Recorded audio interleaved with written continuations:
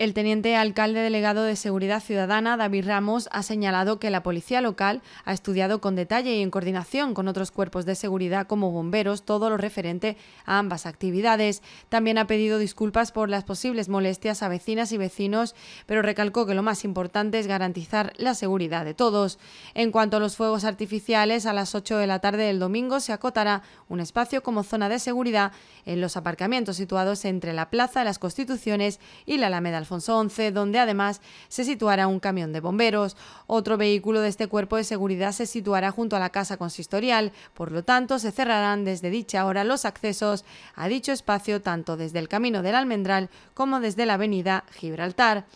Como parking reservado funcionará parte del espacio Consuelo de Albero situado entre la Casa Consistorial y la Jefatura de Policía Local, mientras que se recomienda como zona de aparcamientos para el público las calles situadas entre la Barriada de la Paz y el Camino del Almendral como alcalde Pepe Vázquez y Pepe Barberán, así como la avenida Tercer Centenario. En lo concerniente al Toro del Aguardiente, también a las 8 de la tarde del domingo se cerrará el acceso a los aparcamientos de la Plaza de Toro, que se han establecido como zona de seguridad.